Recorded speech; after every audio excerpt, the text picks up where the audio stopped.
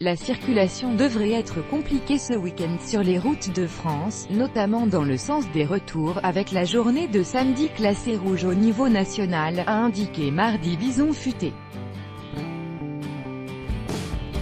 Soyez vigilants si vous devez prendre la route ce week-end https ht.co slash 4b0vspemlivpic.twitter.com slash 7 irc sécurité routière arrobase route sur Auguste 16 2018 La journée de vendredi est classée orange dans le sens des retours et verte dans le sens des départs, sur l'ensemble du territoire.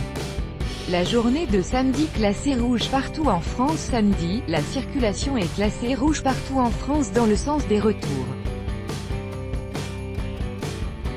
Les difficultés devraient se concentrer sur la 7 jusqu'à Lyon, sur la 62 et la 61 entre Bordeaux et Narbonne et sur la 9, de Montpellier à la frontière espagnole. Dans le sens des départs, la journée est classée orange sauf sur le pourtour méditerranéen, classé rouge par bison futé.